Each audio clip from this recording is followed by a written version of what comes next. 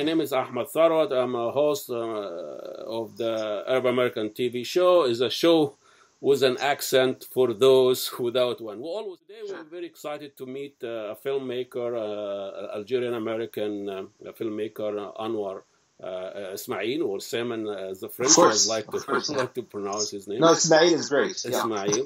Yeah. And uh, he was born in Algeria in, in English, and he was the son of French professor and an act director and playwright.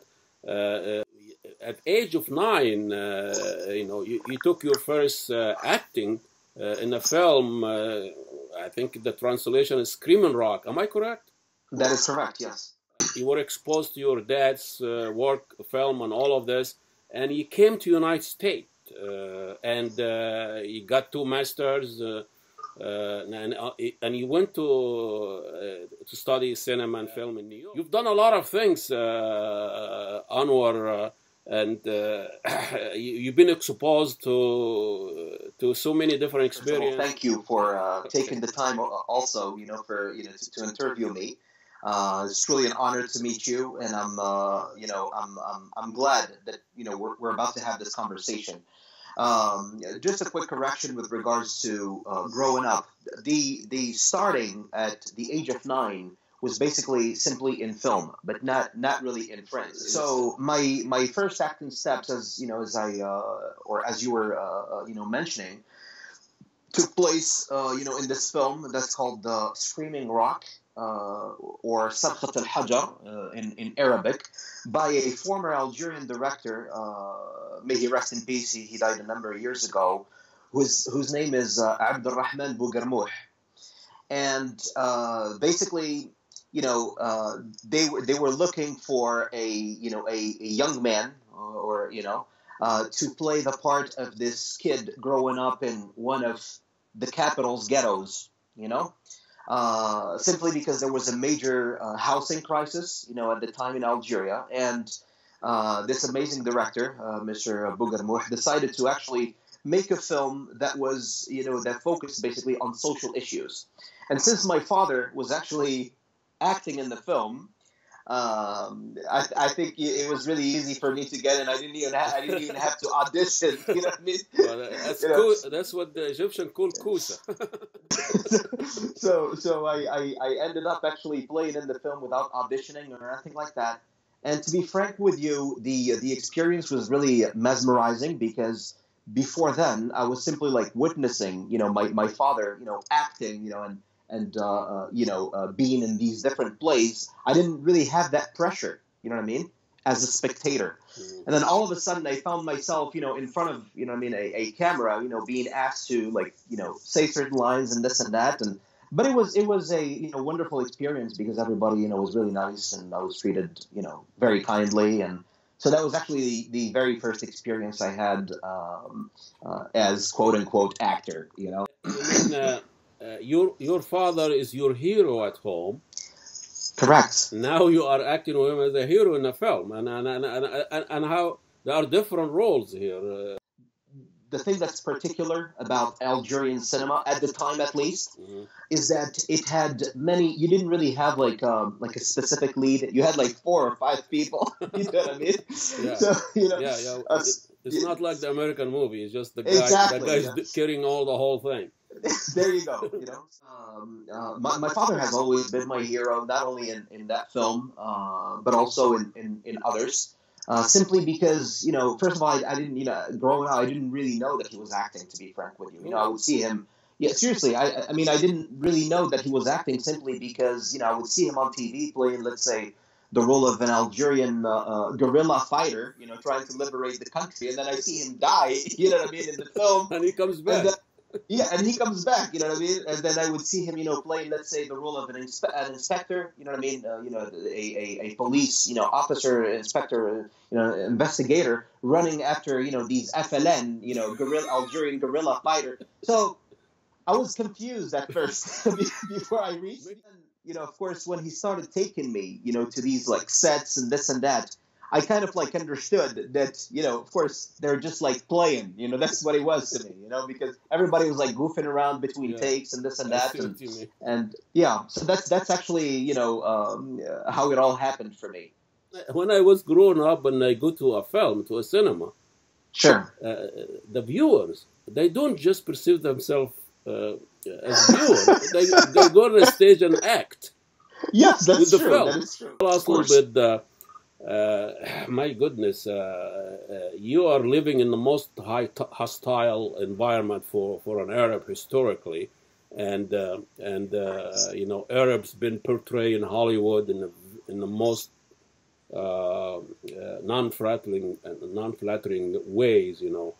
And uh, so you know, as far as like my experience in, in, in Hollywood in general, uh, let's you know, let's start by saying that um, it's been a mixed experience, really. Uh, of course, you know, with lots of up and downs.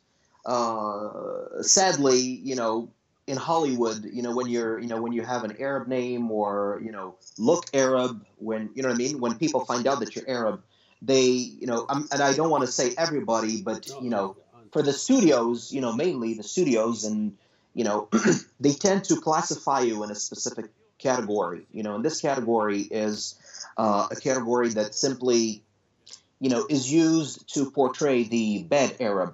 You know, the bad Arab. The, you know, the, the Arab that uh, that's uh, violent, uh, that's uh, you know, dirty, that's uh, uncivilized, and so on.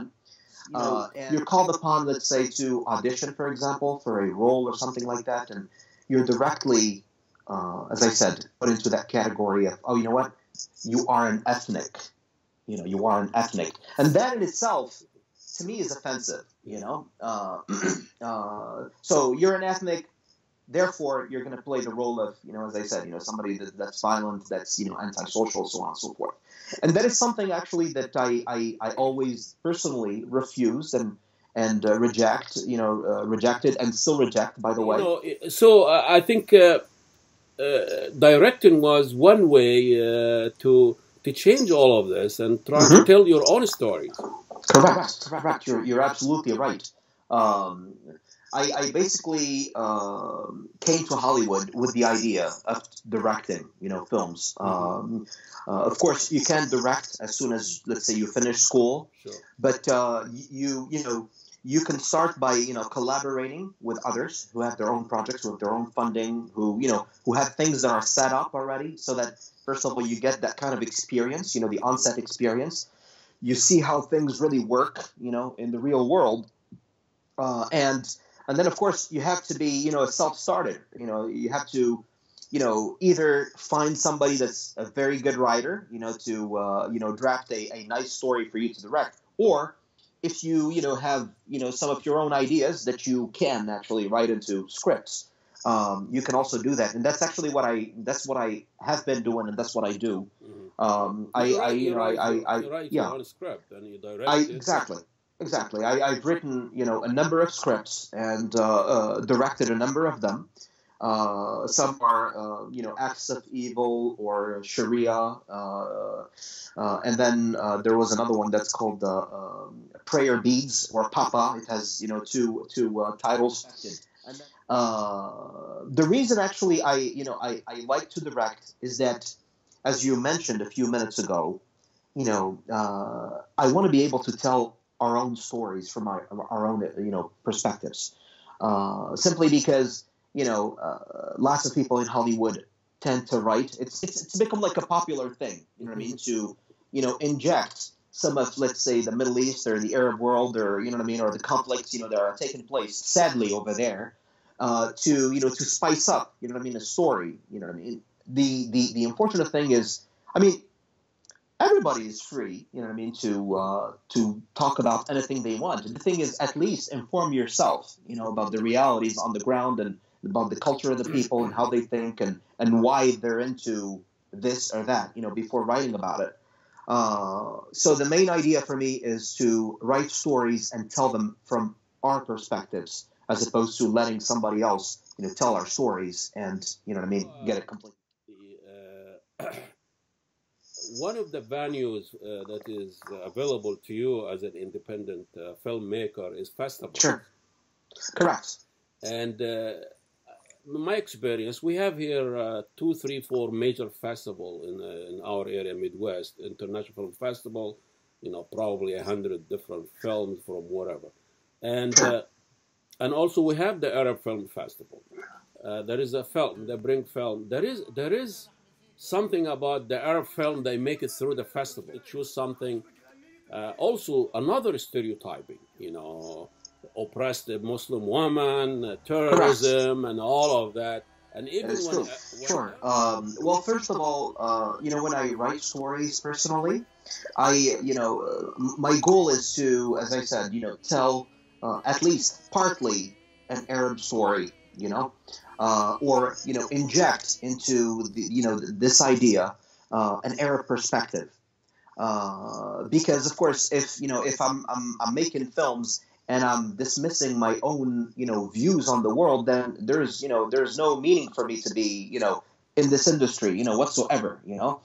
Uh, so what I try to do is really uh, show you know the human face you know, of Arabs in general. You know that we are actually regular people uh, who have you know regular lives, who have hopes, you know, who have aspirations, and who want to thrive. You know, I mean, in in the world. Of course, we also have our, our share of you know worries and concerns and problems and, and issues, and and we have to deal with that.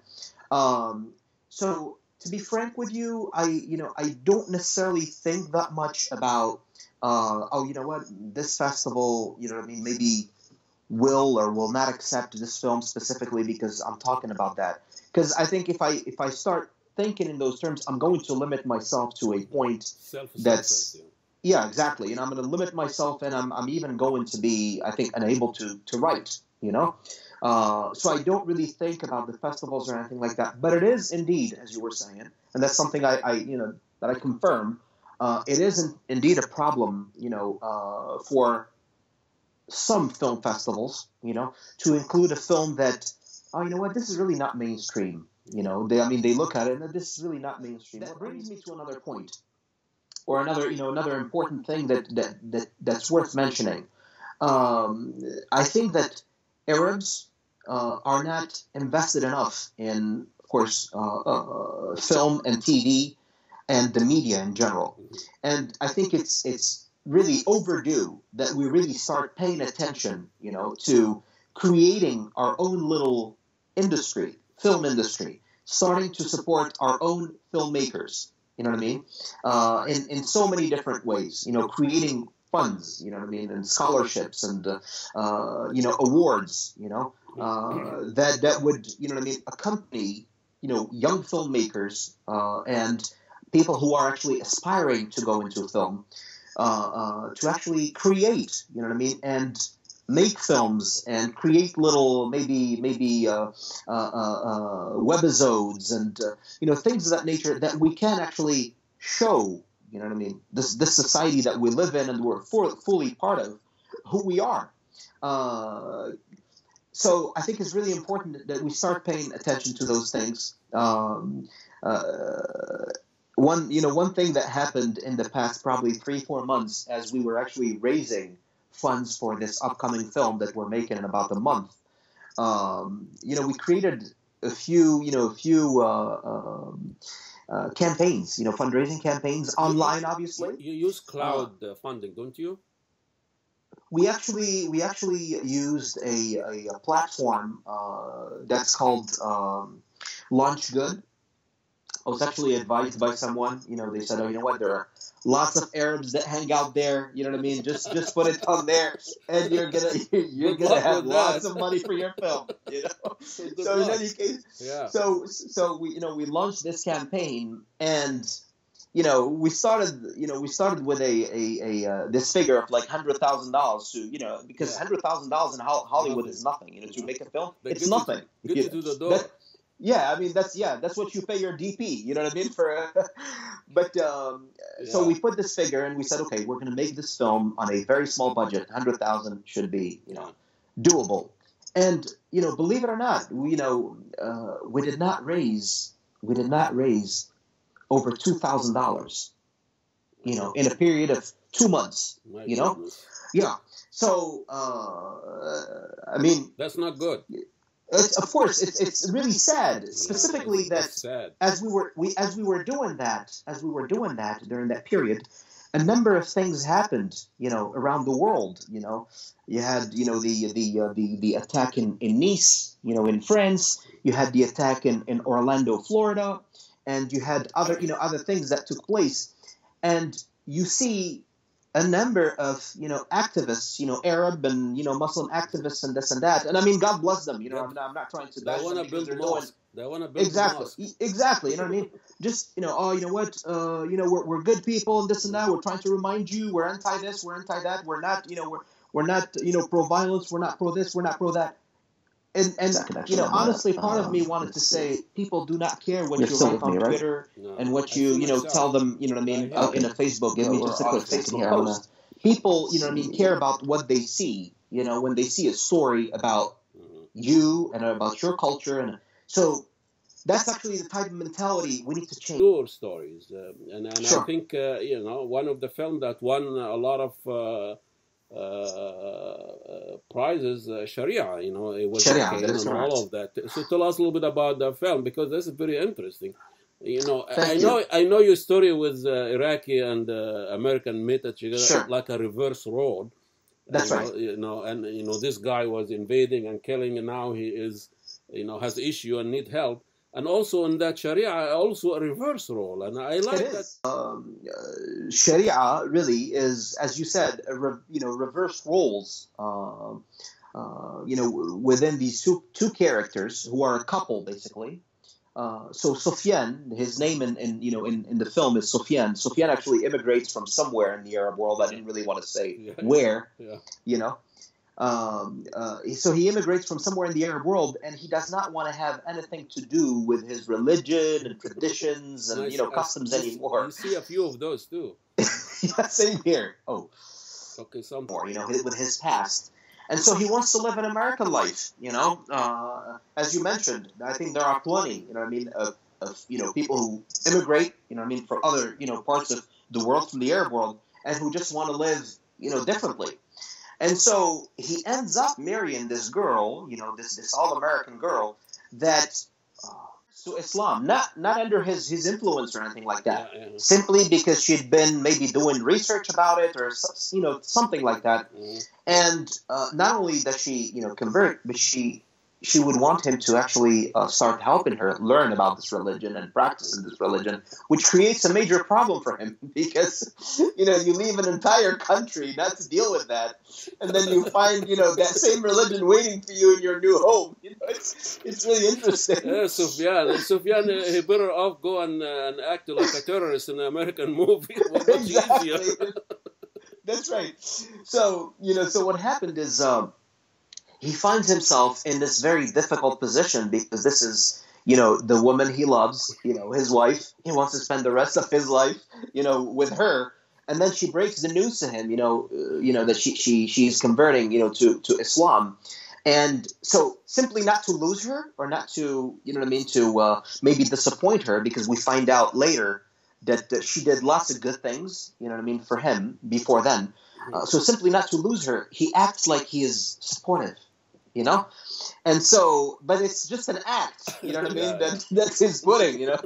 And, and uh, little by little, actually, tensions mount as she, like, she goes a little deeper into religion and she starts imposing things on him, you know? Uh, and, and basically, the story is kind of like this couple dealing with that, you know? Uh, but of course, it has a very nice, uh, uh you know, message of tolerance and peace. You know what I mean? Towards the end, it, it, um, it's interesting that uh, in a very uh, strange way, the both were uh, motivated by the same thing. You know, they were the, right. the partial from their own uh, culture. And they want to explore something else, but uh, they met in a, in a, different time and different. Uh, that's right. And that, but that's you know very different than what we what we see in a, in a, in a mainstream uh, films, uh, where uh, things very predictable, stereotyping, and all of that. So th- this is the thing about how the West, and this is started from Europe, Orientalist, and all of this. Sure. They kind of uh, portray Arabs as a cartoonist, uh, simple uh, minded, you know, kind of.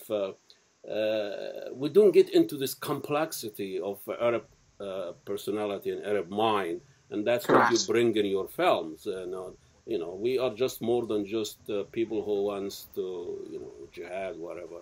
Islam. That's right. Very complicated uh, human being, like you know, like everyone. So, so uh, you know, and, and and the name of the film, you know, you're taking a lot of risk coming up with True. the name of Very the film. true. Tell us Very about true. the, naming the film. Sure. The you know the main idea you know behind naming the film Sharia, uh, with all respect you know to you know the holiness of every single religion, um, the main reason behind naming it Sharia simply because um, uh, when Heather in the film, you know that's the name actually of the the you know the character who plays um, you know S- Sufyan's wife, Heather actually during her research she finds out about oh Sharia law, you know, the law of Islam, you know, something like that, you know.